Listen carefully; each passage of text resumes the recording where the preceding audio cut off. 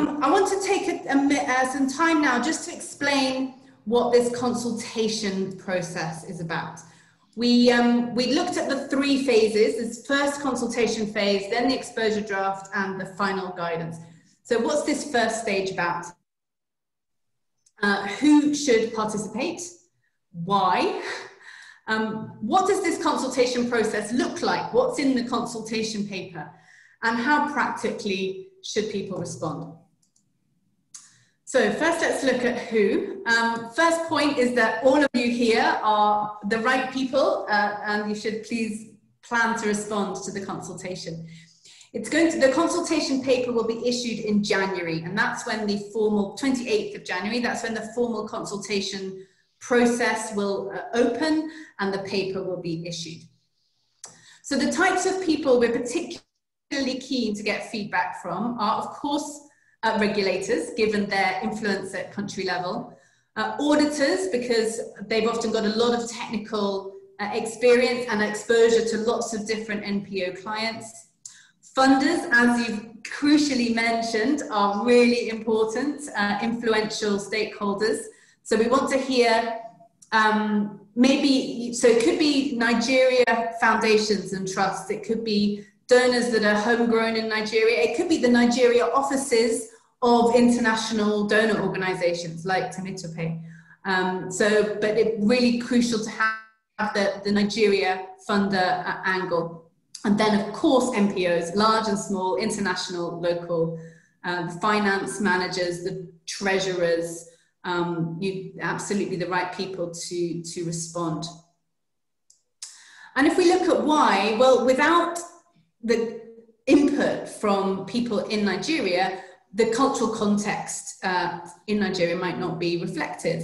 And the needs and realities of stakeholders in Nigeria might or might not be reflected in the proposals that are put forward. So what we've really got here is an opportunity to shape the future, which I think is the title of this whole session really. Um, and future generations of Nigerians can look back and say, because you participated in the process, we've got something that works for us. Um, so it's a real chance to have an impact uh, for the future.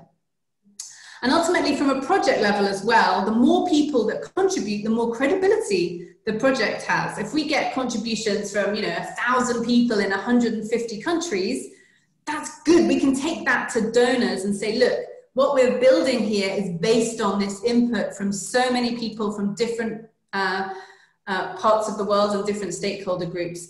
And it means it's harder for people to say, ah, that's a small thing, we're not interested. It, it increases the credibility and the adoption, which is crucial.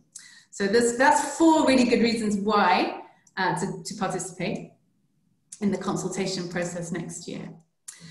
So what? The consultation process is shaped by this document called the consultation paper. So it's still in the final stages of development, and the PAG and the TAG have spent the last year looking at drafts and making changes and suggestions and changing the direction and guiding the content. So let's just have a look at how it's structured. So after the executive summary, uh, there's an introduction which sets out the objectives of the project, explains who should respond to the consultation paper and how. It's just kind of short, essential reading. Then the bulk of the paper and all the questions that we're looking for your feedback on are in two main sections. That's part one and part two, and we'll look at those in a bit more depth shortly. Then there's some supplementary information that gives more context. Uh, and there's a, a, some of the annexes, for example, show how does IFRS have anything to say about this? What about the guidance in the UK or the New Zealand or existing standards, that they have any guidance on this particular issue. So that's all in the annexes, so you don't have to read it all, but if you're a technical person who wants to know, you can look it up.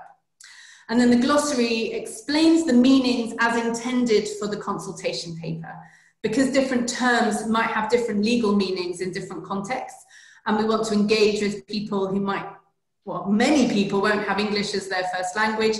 We want to really just help um, make sure that there's clarity of meaning on terms that we've used. So that's the purpose of, of the glossary there. So just to give you sort of overview of the questions that we'll be looking for your feedback on. So as I mentioned, there's these two parts. Part one is around sort of framework level issues like how to describe non-profit organizations or who their stakeholders are. It's written in plain English and it's pitched to be accessible to a really broad audience of stakeholders interested in financial reporting, not just accountants.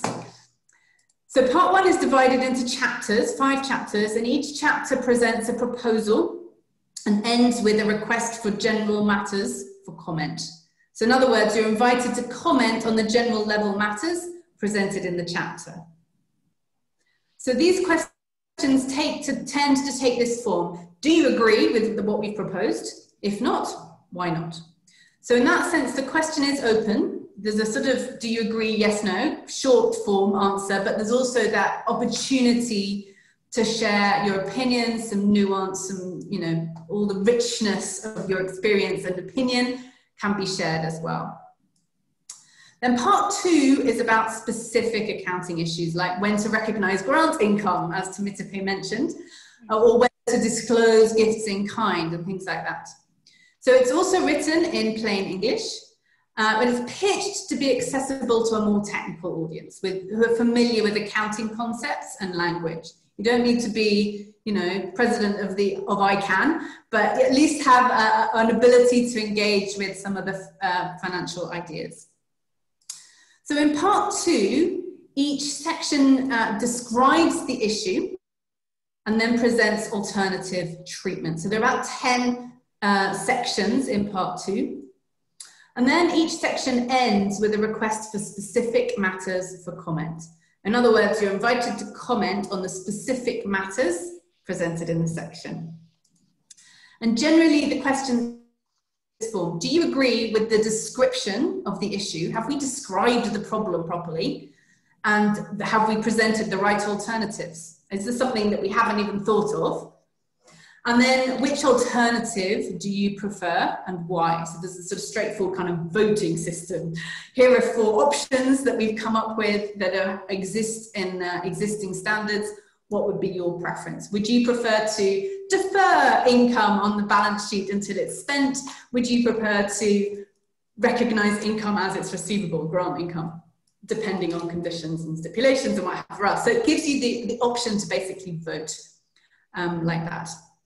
So again, it's necessary to have read the section and you have to look at the alternatives before you can meaningfully submit a response. And what that does is it gives us as a project uh, structured responses which we can analyze. And we can also analyze them by stakeholder group and by region and country uh, so that we get a really rich set of feedback. So we've had a sense of the general shape. I just want to take a slightly deeper dive into each of the five chapters to give you a taste. And I should mention that the consultation paper is still not final. So what I'm presenting here is what I believe will be in the final, but in case there's something different in the finished version, uh, I've, I've uh, covered my back here. So, um, oh, Francis is coming back. Hopefully he can speak to us later.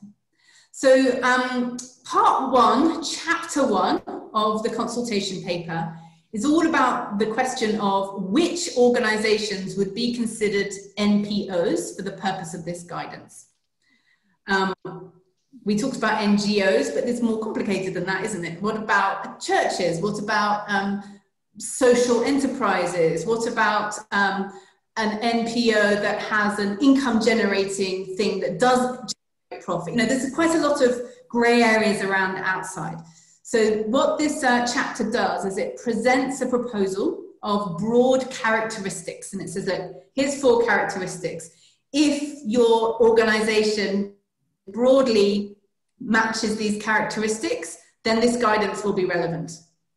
Okay, if you have three but not four, well, some of the guidance won't be relevant for you, but maybe other aspects will. So it kind of presents some broad characteristics.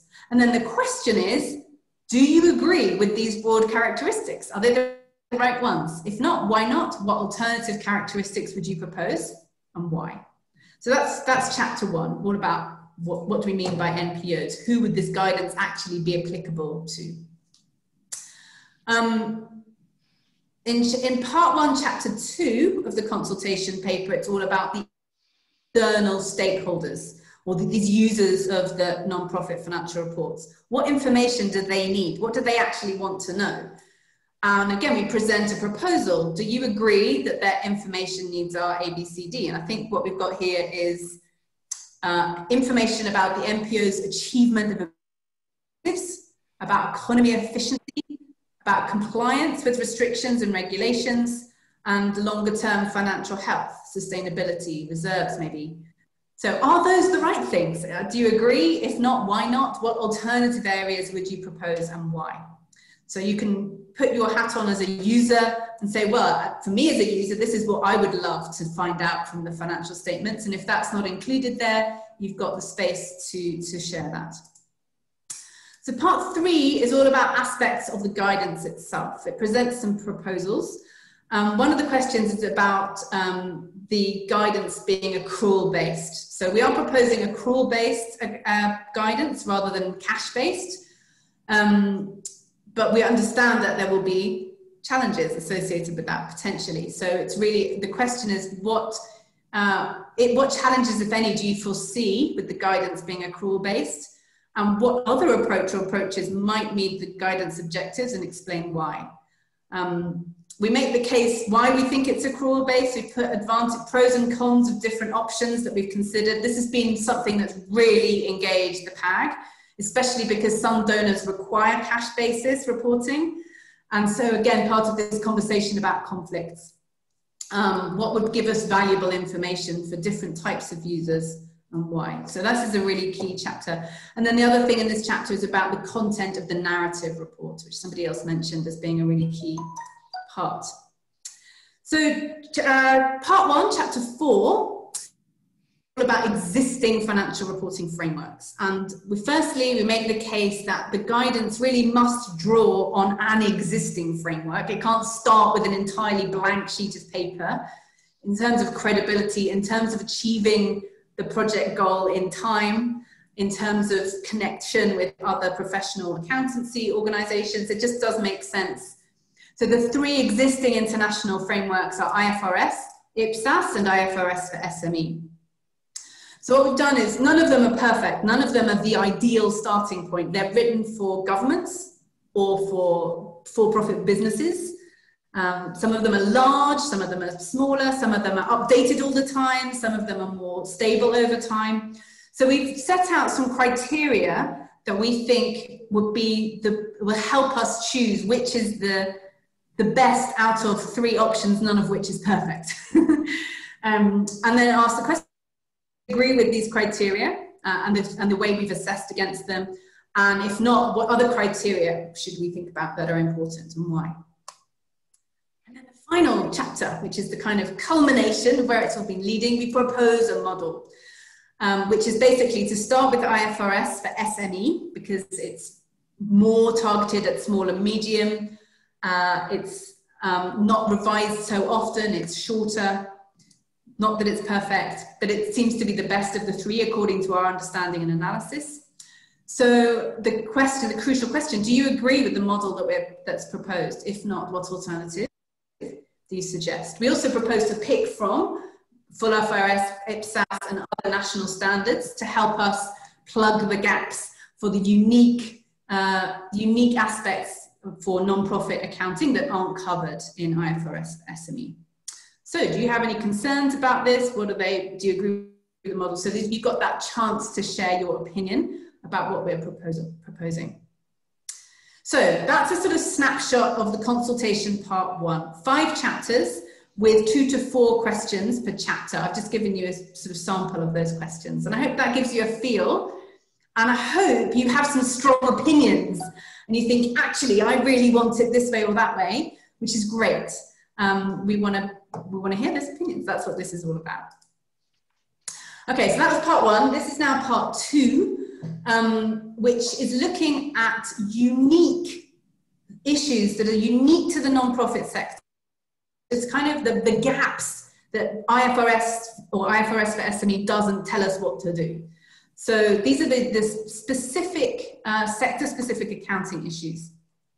So again, this, this is the list as per this consultation paper as it is now.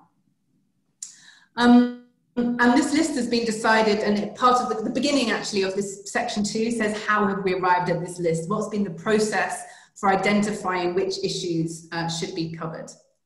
So we've got issues like, you know, the financial statement presentation. How do we show uh, financial performance? Do we do fund accounting with columns like in the UK? Do we do do we stop at the profit line or we do do a um, retained comprehensive income type thing? There's lots of options. They're all you know suggested there. Vertical or horizontal balance sheet. There's lots of different options.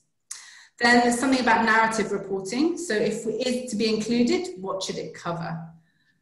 Um, how should we classify expenses? Should it be by nature, like salaries, transport, uh, rent, etc.? Should it be by function? Um, if it's by function, which functions? Uh, UK has, you know, charitable expenditure, which is again, that's a word that isn't very internationally, uh, but program admin and fundraising, or something else. What is a good, meaningful way to classify expenses on the face of the financial statements?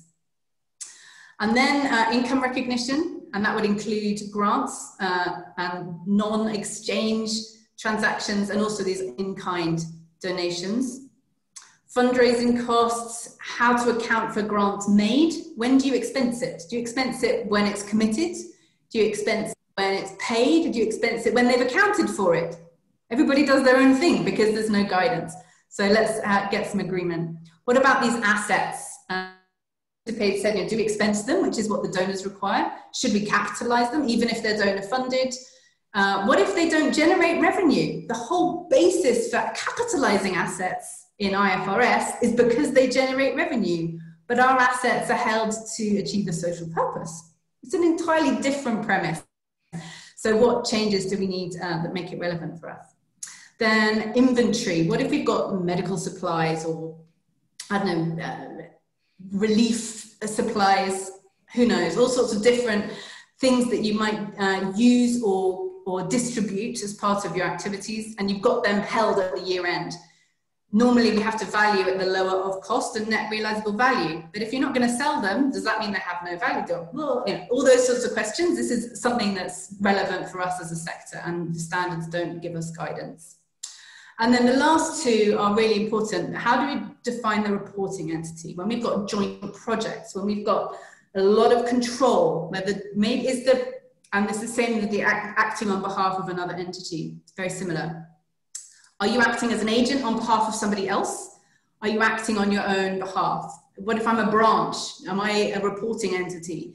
Uh, you know, so we had to looking at some of the principles that would help uh, decide which parts or, of an organization uh, should report and what should be consolidated or not.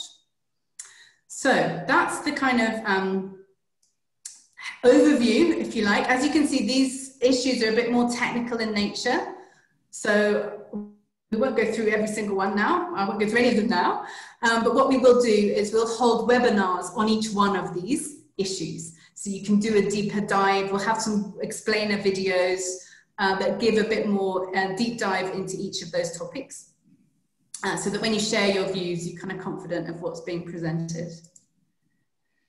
So hopefully that look at part one and part two has made you think, wow, I would like to share my opinions and my perspective.